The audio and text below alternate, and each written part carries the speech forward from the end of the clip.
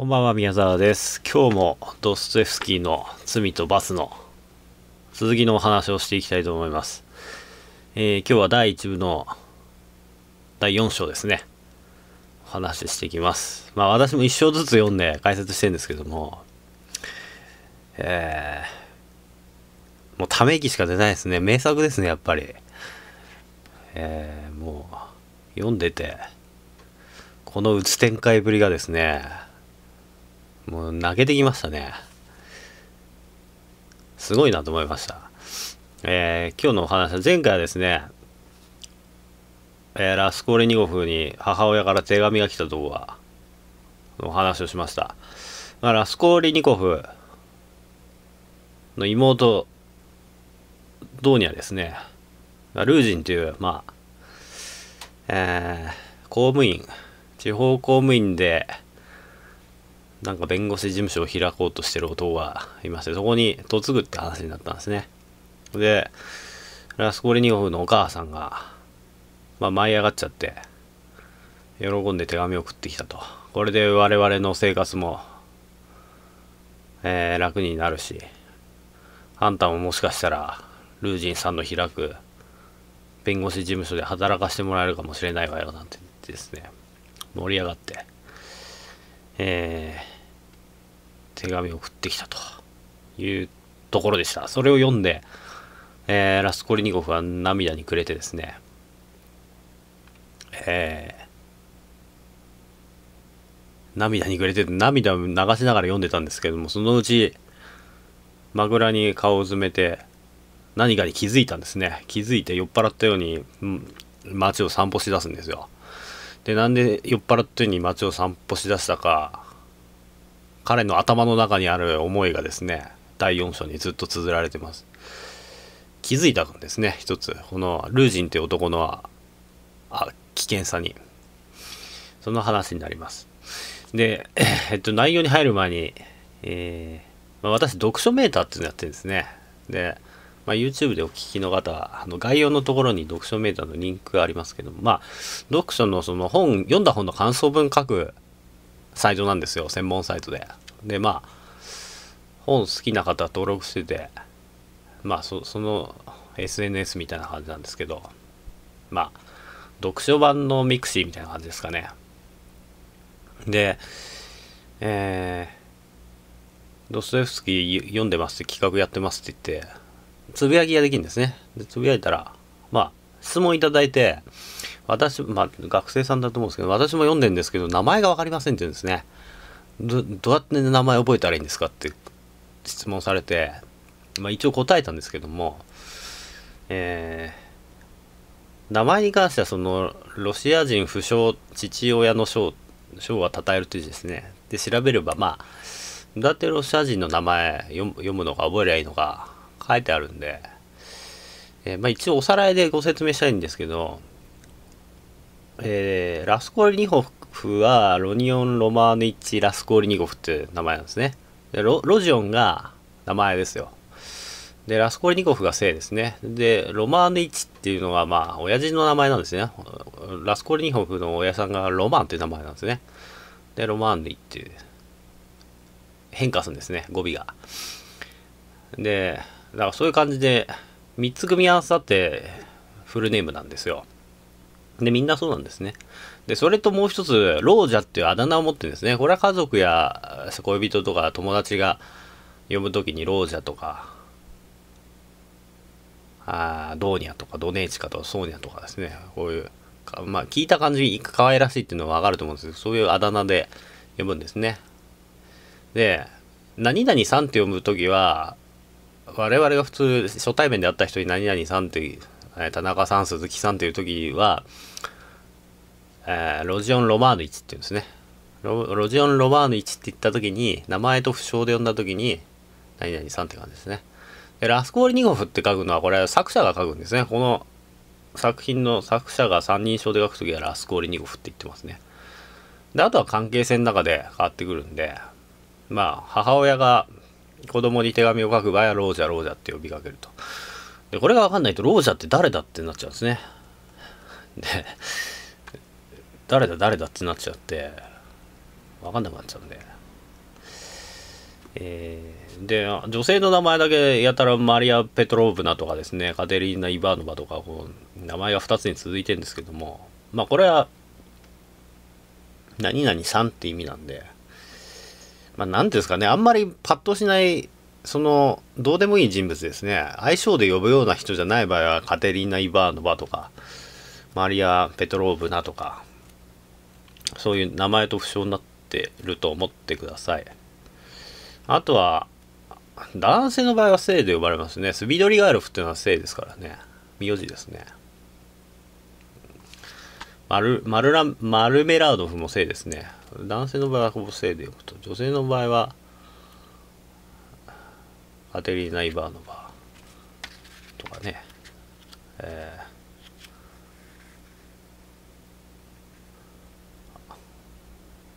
なんかそういう形で呼んでますねえー、まあそこだけまあ私も 何度か何度か説明はしますけどこれがこれ慣れないともうドステスキーもトルストイもやっぱ読むの嫌になっちゃうんですよね。大体名前でつまずいて分かんなくてやめるのと、あとキリスト教が分かんなくてやめる。この2つを乗り越えればなんとか、えー、超えられてきますよ。名前でつまずくともう途中で分かんなくなっちゃうんで。名前はまあクリアできると思います。で、キリスト教の理解が分かんないっていうのは、これは本当申し訳ないですけど、中学生高校生だと分かんないですね。キリスト教のことがなんかあんまり宗教意識が多分中学生高校生じゃないですね大人になって僕も困って悩んで聖書を読んでから分かりましたからねあのキリスト教のことが信仰心っていうものに頼むところはあった時に考えさせるとそれは信じるとか信じないとかじゃないんですけど、えー、なぜもともと信仰心があるんですよこの人たちは。ここの罪と罰に出てくる人はですね。それがまあロシア正教徒なんですけどロシア正教徒だってことが分かってないとちょっと根本的なみんなの心の中にロシア正教徒としてえ福音書を読んでるっていう道徳観念があるってことですね。道徳道徳があるんですよ。キリスト教から出てる道徳がどの登場人物の中にも入っててそれはデフォルトなんですね。基本設定ですよ。パソコンに最初からインストールされてる OS みたいなもんで、えー、Windows なり Google Chrome なり Windows なりそのインターネットエクスプローラーとか Chrome とか入ってますけど、もうああいうのが、ブラウザが入ってるってこですね。ブラウザみたいなものが入ってるんですよ、そのロシア正教っていう。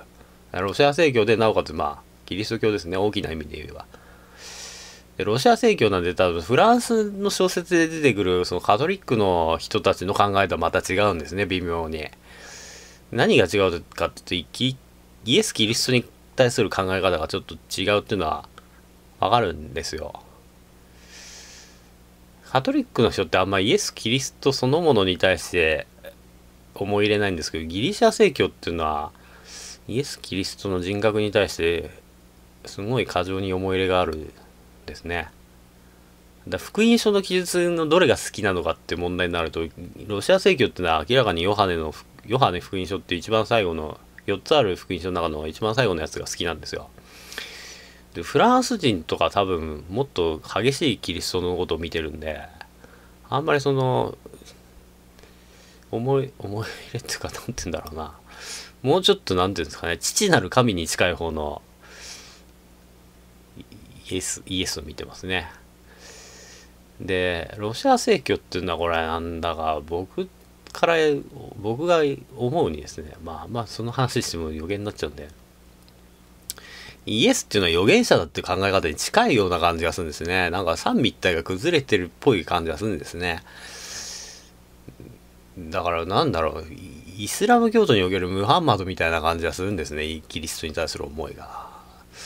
預言者だっていう。まあそ、そんな感じがするんで、ちょっと違うんですね。それが分かると、ああ、なるほどって分かると思うんで。まあこれも積み重ねて分かっていくんで。まあちょっと難しいこと言っちゃいましたけど。で今日は、えー、第4章ですね。で母親の手紙を読んで何を思ったかっていうのは出てくるんですね。まずですねドーニャが勝手に結婚を決めたと。ドーニャと母親が勝手に結婚を決めたことに怒り出すんですねこれでえールージンって男ですね。まあ一応羽振りのいい、一応公務員で、えー、副業で、弁護士事務所っていうか、司法書士事務所っていうのがですね、法律事務所を開こうとしてる男で、まあペトロ、えー、サンクトペテルブルグにですね、まあ来るという、開業しに来るっていう男ですね。この男に対しても、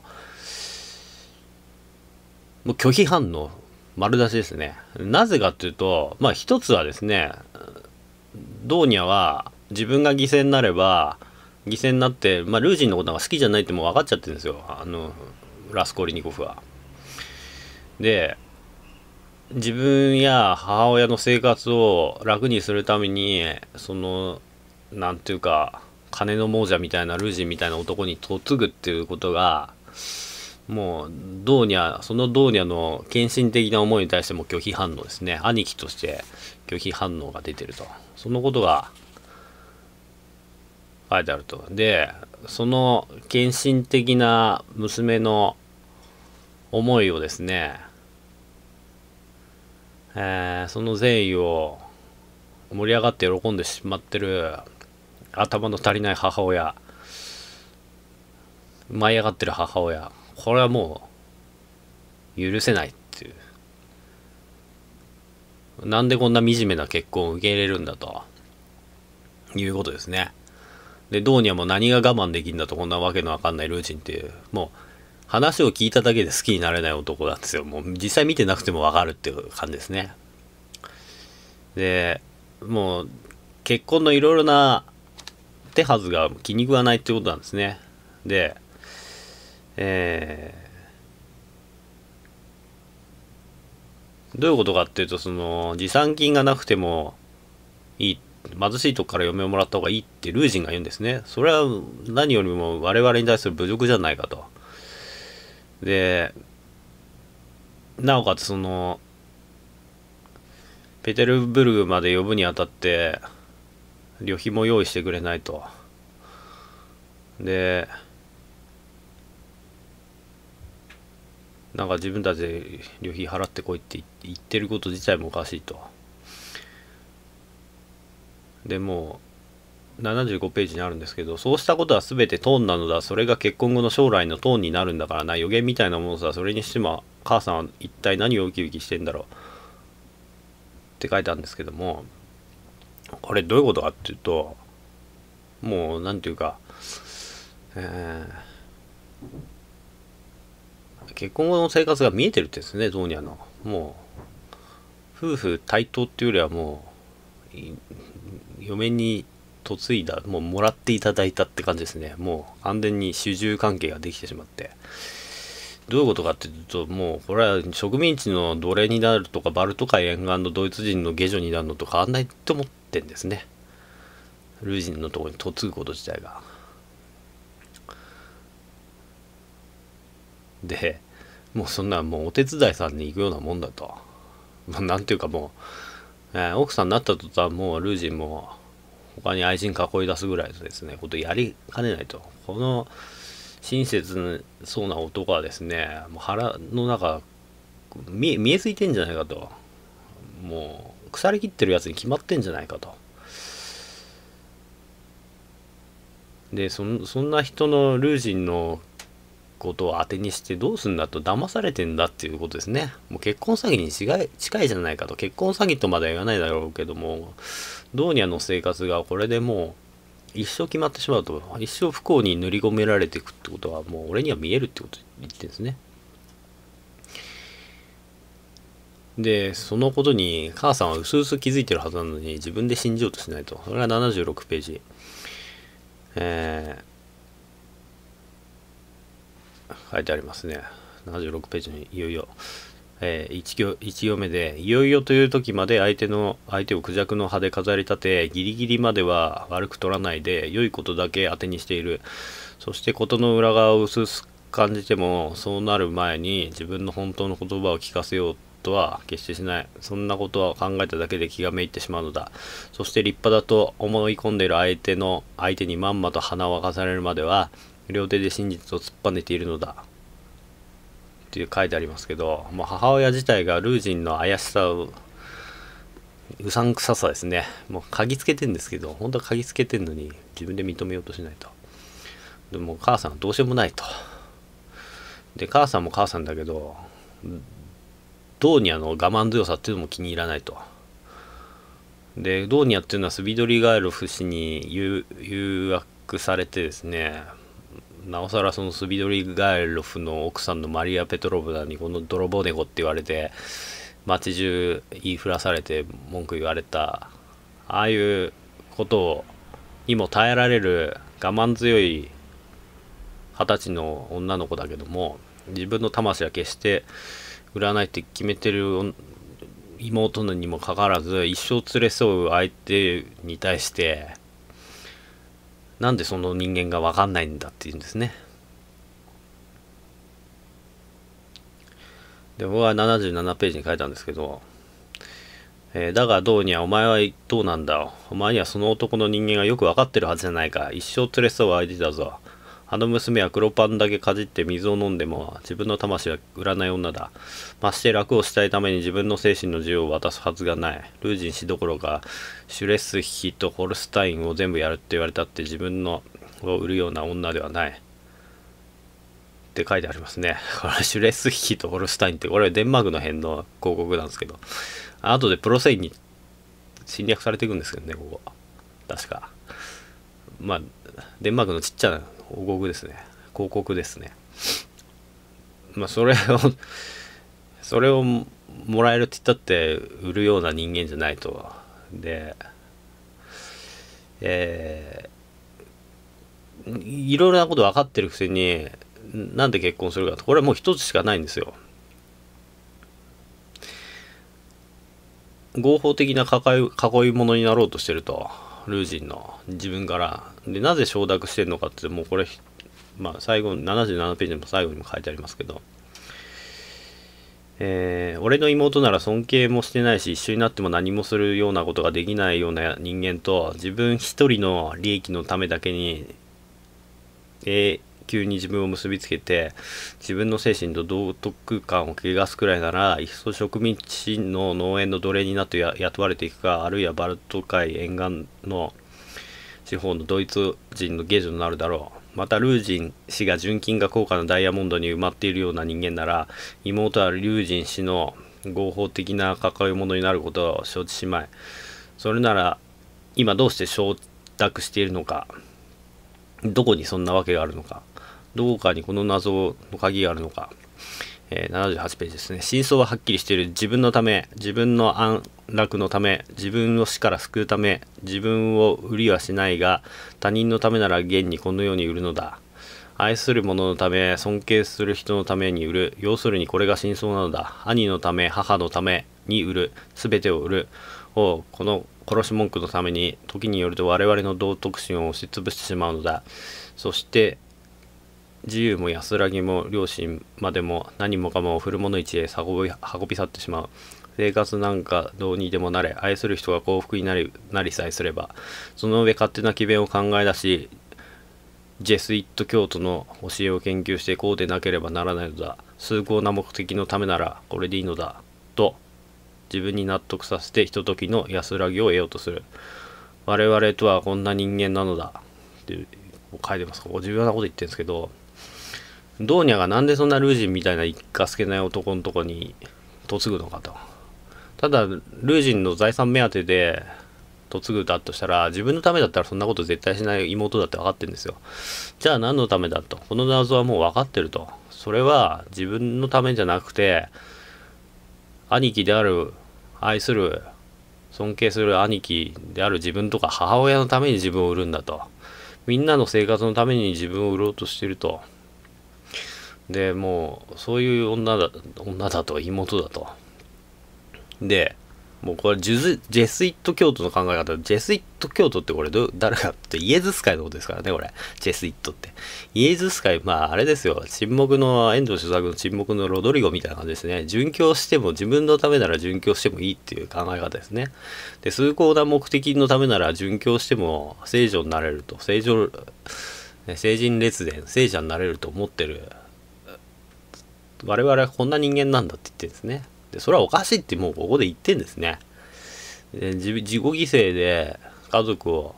私さえ嫌なやつに嫁ぐけれども私さえ嫁ぎはみんなの生活が楽になってお兄ちゃんが大学出れて、えー、お母さんもなんか内職して縫い物の内職して目を視力落とさなくていいとかですね。美味しいものを食べさせてあげられるとか。そんなことに気を回してどうしようもないえー、変態男に嫁ぐっていう妹がですねもう気の毒だと。そういう気持ちで自己犠牲で全て進めてるってのは俺は分かったぞって言ってラスコリニコが言うんですね。でこれがどういうことかって気づこれ結局何かっていうとこの前見たマルマルメラードフと一緒だと。マルメラードフ家と一緒だってことに気づくんですね。あの家は誰が助けてるかっていうと売春婦になったソーニャが助けてるんですね。ソーニャがある日母親に「お前の体なんて宝物じゃないだろ」って言われてで優しいソーニャが黙ってその晩家を出てって帰ってきた時30ルーブリ持って帰ってきたわけですね3万円。でようやく生活できるようになったんですよ。もうこれと同じことが我が家でも起こってると。どう違うんだとルージンの家に嫁ぐのと、えー、黄色い観察を受けて売春婦として生計を立てるのはどう違うんだってことに気づくんですよここでラスコルニコフは。でドーニャも結局結婚するとなれば、えー、これはも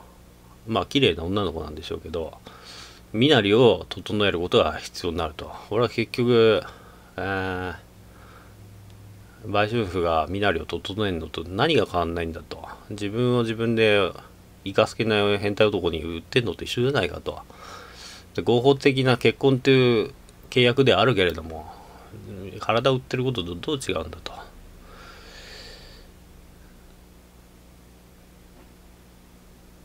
で、まあ、ソーニャとドネシカが違うのはソーニャの方はガスというギリギリの線に追い詰められてるだけだと。ドネシカはまだ楽自分が楽になるって思ってる気持ちがあるけどそれだけの違いだと。で結局は結局は同じことだって言うんですね。最終的には、ソーニャもドネーシカも自己犠牲っていう点では一緒だと。一緒なんだって気づくんですよ。それを一生懸命自分に言い聞かすんですけども。で、もう一つ、不意にハッとして足を止めるんですね。ここからがもうちょっと切なくなってくんですけども、80ページ、えー読み上げます。させるものが、じゃあさせないためにお前は一体何をしようというのだ。断るどんな権利があって、そういう権利を持つためにお前の方から母さんと妹に何を約束してやれるのだ。大学を卒業して就職したら自分の全ての運命、全ての未来を2人に捧げるというのか。そんなご託は聞き飽きたよ。それははっきりしない詐欺のことじゃないか。今はどうするんだい？今どうにかしなきゃならないんだよ。わかるかい？ところが今お前のしていることは何だ？かえって2人を食い物にしてるじゃないか。その金は2人が100ルーブリンの年金とスビドリガエルフ家の屈辱を抵当にして借りたものなんだ。スビドリガエルフたちやアファナシー・イワノビチワ・ワフルーシンとやらからは、お前は2人をどうして守るつもりだね？未来の100万長者さん、2人の運命を握るゼウスさん。10年後にその10年の間に母さんは襟巻き網の手内職でいやもしかしたら涙で目をつぶしてしまうだろうよ。精進料理で痩せ細ってしまうよ。それに妹さんはまあ考えてみるんだな。10年後いやこの10年の間に妹さんの身にどんなことが起こりうるか分かったかい?これあのラスコリニホフが自分に言い聞かせてですね。どうすんだと。実は俺は何もできないって気づくんですよここで。もう今大学も除籍になってフリーター、フリーターっていうか働いてないんで無職ですね、要するに。無職でいるのに、どうやって妹や母親を助けるんだと。俺はまあ頭が良くて将来も未来の100万長者になれるって自分では思ってるけど実際目の前今どうにかしなきゃいけないことに関して何もできないんだと。10年後に俺が偉くなるって妹や母親に約束したってもう10年後妹がどうなってるか分かんないし母親は10年後にはもう貧しい食事で痩せ細え衰えてですね内職で健康を害してる病気になっちゃってるかもしれないと。でこうい問い詰めると自分の無力感もう自分の無力感に自分で笑うしかなくなるわけですね。でも何も妹が嫌なやつのとこに嫁いでお兄ちゃんを学校に出してあげるなんて言われるような心配をさせられるさせてるような自分がですねえー、切ないと。で結局どうなんだって話なんですね。結局自分はマルメラードフと変わんねえんじゃねえかってことに気づいちゃうんですね。ソーニャが買収してもらってきた金で暮らしてる酒飲んじゃってるマルメラードフとなどう違うんだということに気づいてしまうんですね。で、えー、昨日居酒屋で絡まれたどうしようもない酔いどれのマルラメイドフですねあれが自分の将来の姿だって分かっちゃうんですね。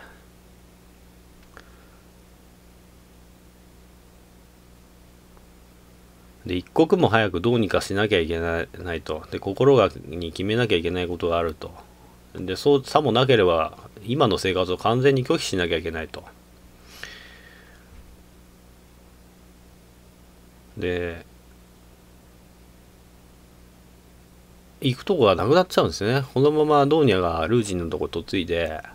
自分が妹の情けにすがってまあルージンの情けにすがって生きるようになるといずれは行き場がなくなると。それはマルラメイドフが昨日居酒屋で分かりますか？分かりますかね？学生さんもうどこにも行き場がないってことがどういう意味か？なぜってどんな人間だってどこか行けるところがなかったらやりきれませんよってマルラメイドフが言った言葉がフラッシュバックしていくんですね。ラスコリニコフの。で、自分もいつか星草部でに寝る運命になってしまうっていうことを分かっちゃうんですね。でその頭がガンって殴られたように暗くなると。まるで自分は万能感いっぱいで未来は俺の手にあるってこの前まで思ってた学生だったんですけどラスコーリニコフは。急に昨日あったどうしようもない酔っ払いの親父に自分の将来の姿を見てしまうと。で絶望的な思いになるんですね。でこの後出来事が起こるんですよ。ここがすごいんですね。ここちょっともうどうしようもない話があるんですけど。そしたら目の前に女の子が歩いてるんですね。でこれはもうなんか服が破かれてですね。まあなんかおかしな感じで歩いてふらふら歩いてる15歳ぐらいの女の子がいる。もうリプニツカヤみたいな女の子がですね明らかに洋服がおかしいんですねでふらふら歩いてるとでその女の子をつけ回していやらしそうに見てる太った男が後ろからついてきてるのを見るんですねでラスコリニコがこれを見てピンと気づくんですよあああの女の子はえー、危険だとでどういうことかっていうとなんか男に狙われてるとなおかつ昼間から酔っ払って歩いてるんですよ女の子は。でこの女の子はもうおそらく多分今さっき誰かに騙されてまあ暴行されてですね、えー、裸にされてえー、なおかつ服を着させられて外に追い出された気の毒な女の子だというのはわかるんですね。でひどく酔っ払って昼間から昼間の2時からまあ、中学生ぐらいの女の子が歩いてると。で、それを見てですね、えー、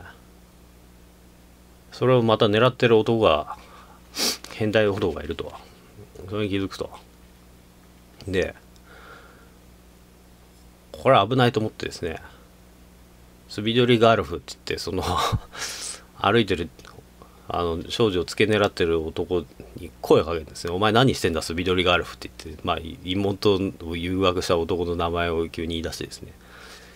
そしたら喧嘩なんですねそれで「なんだお前は」って言って「お前なんかこの少女を見てただろ」って言ってですね。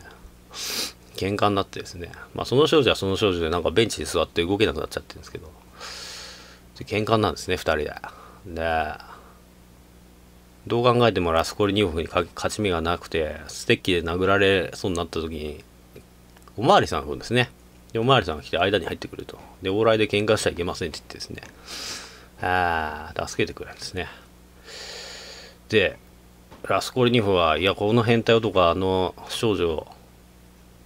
の後ろストーカーストーキングしてるから危険ですよおまわりさんって親切に言うんですよ。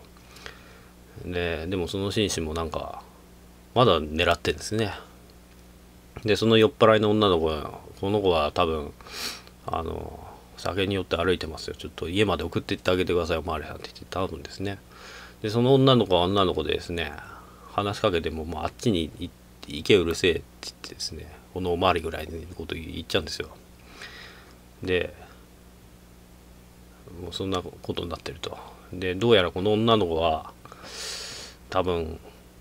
落ちぶれた家の娘らしいと。今時はこういう娘が増えてしまってると。で多分すごいお金持ちだった家の子らしいと。でも今はこうして多分誰かに暴行されて服を着せられて酔っ払酔っ払ってるっていうかなんか危険ドラッグ感が吸わされてですね。街に放り出されてると。こんなことになってるって言ってですね。でまあラスコリニゴが気の毒に思っていやじゃあって言って20個ペイが出してですねこのお嬢さんを家まで送ってってやってくれって言うんですね。でおまわりさんびっくりするんですよ。こんなボロを着てる汚い男が人に200円も出して送ってってくれっていうことじゃびっくりするんですけども。でことはそそしたらその女の子もさっさと歩いてっちゃうし男もそれを付け狙ってそのまま行っちゃうんですね。で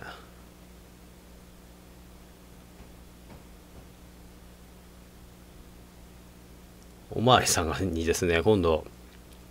ラスコールニゴフがあおまわりさんその2人を追いかけて行こうとした時にラスコールニゴフがまたおかしなこと言うんですよ。いやもうほっとけと。あんたに何の関係があるんだと。あいつに世話させんだなと。あの変態紳士はもう結局こう娘と一緒になるだろうと。どうだっていいじゃねえかって言い出すんですね。さっき1分前はあの女の子家まで送ってくれって言って200円ぐらい渡した割にその1分後にはいやもういいあの2人に好きなままにさしとけばいいじゃねえかって急に言い出すんですよ。でなぜ思ったかっていうとこれはマルラメドフの家を家に送ってって小銭を置いたことと一緒ですね。89ページなんですけども俺に助ける力があるというのか俺は助ける権利を持っているだろうか。何あいつらは生きたまま飲み合いをすればいいのさ。それが俺にどうしたというのだ。って言ってですね、えー、90ページですね。哀れな少女だ、えー、彼は空っぽのベンチの隅に目をやってつぶやいた。気がついてなくやがて母親に知られる。初めのうちはぶつ程度だがそのうち激しい折感口汚い罵り。そしてもしかしたら追い出されるかもしれぬ。追い出されないにしても、やっぱりダーリア・フランツォブナ。ダーリア・フランツォブナっていうのはこれあの、ソーニャが、ソーニャに家賃を払えないソーニャの母親にソーニャに売売春させろって言ったあのアパートの住人ですね。えー、やっぱりそうダーリア・フラントブナのような女どもに嗅ぎつけられてあの少女は人目を避けて今日はあちら、明日はこちらと袖を引くようになる。やがてたちまち病院に行き、かっこ母親の前ではひどく行儀をよくしていて、ちょいちょい目をかすめてこっそり悪さをしているような娘に限ってこんな、決まってこんなことになるものだ。かっこ閉じ。せっかく病院を出てもしばらくするとまた病院に逆戻り。酒、居酒屋、そしてまた病院。2、3年もすると廃人。これが彼女の19年か、あるいは18年の生涯の結末だ。俺はこんな例をこれまで見てこなかったろうか。彼女らはどういう風にしてそうなったか。何みんなこんな風にしてああなったんだ。チェ勝手にそうなりゃいいのさ。誰かじゃないがそうなるようにできてるんだよ。何パーセントか年々落ちていかなきゃならんのだ。そうならんのだそうだ。どこかへ。まあ悪魔のところへだろうさ。他の娘たちを清らかにしてやり邪魔をしないためだそうだ。パーセント。彼らに言わせればこれは全く素晴らしい言葉だ。全く気休めになるし科学的な言葉だからな。何パーセントかそれじゃビクビクすることもあるまい。というわけだ。これがもし他の言葉だったらそれこそおそらく安閑とはしていられまい。それ朝でドネーチかも何かの弾みでこのパーセントの中に落ちることになったらこのパーセントでないこのパーセントでないまでも何か他の。っていうんですね。えー、結局そのもう上着も反対に着てるような女の子ですね。この女の子がもう落ちるとこまで落ちるんだと。助けようはないんだと。俺に助ける力もないしあの年齢の女の子たちの何パーセントかああやって悪魔のところに落ちていくと。社会の底に落ちていってしまうと。で彼女たちがの18年間の人生っていうのはそういうもんだと。言うんですね。で自分の愛する妹であるドネシカもその何パーセントじゃないにしてもどっかのパーセントの方に振り分けて折っていくと。それはルージンという男と結婚することによってどっかに落ちていくと。不幸の中に落ちていくと。そういうことに気づいてほっときゃいいって。俺だそもそも俺に何もしてやれる力がないと金がないと。そういうこと気づくんですね。これがその後金貸しばあさんを殺し殺すことの正当化につながっていくんですけどね。なんでこう強欲なばあさんを殺しちゃいけないのかって話になっていくんですよこれ。そのばあさんの金を奪って良いことのために使えば世界にとって良いじゃないかっていう理論になって消化されていくんですけども。ええ。こういう悲しい現実を見るんですね。いやここまで書くとすごいなと思いますけどね。えー、まあ空の居酒屋も大体こんな話ですけどね。まあ今の日本にもある現実ですけどね。ただ見えないだけでこんな話いっぱいあるんですけどね。おそらく。でえー、これでまあ大体4章ありますね。で本当はどこに行こうと思ってたかというとラスコリニコがラズミヒンという友達のとこに行く予定だったんですね。でラスコリニホフがまあこんな感じなんで友達いないんですよ。大学時代も学生全体を子供扱いにして自分の知能の発達も知識も思想も誰よりも一歩先んじてるかのように上から見下してたとだから友達がいなかったんですけど唯一ラズミーヒンっていう友達がいたんですねで彼もまあすごい貧しくて今学校に行ってないんですけど休学してるんですけどもまあ彼に会いに行く途中だったということです。まあ、これが第1部の第4章ですね。な話です。えー、まあ、なんていうんですかね、その、この当時のロシアっていうのはもう、景気が悪いといいとか悪いとか話じゃないですね。もう格差社会もいいとこで。だからもう、えー、格差社会っていうか、13階級がないっていうかですね、だから、その、没落していっちゃう家庭があるんで、お金持ちだったけど、この最後に出てきた少女、哀れな少女みたいですね。まあ、やがて、身を春を塞ぐようになってしまう。まあ、ソーニャみたいに売主婦になっちゃうパターンが街の中で見られたってことですね。まあ、ベテルベルグは大きな都市ですからね、今の東京の新宿にいれば同じような光景たくさんあるんでしょうけど、渋谷とか。まあそういうのが目の前でラスコーリニコが見てるんですねで見てて自分もその街の中で一番、えー、どうしようもない生活をしてるもんだから助けようもないっていうその無力感を感じるという話でした、えー、最後まで聞いてくれてありがとうございました。以上です。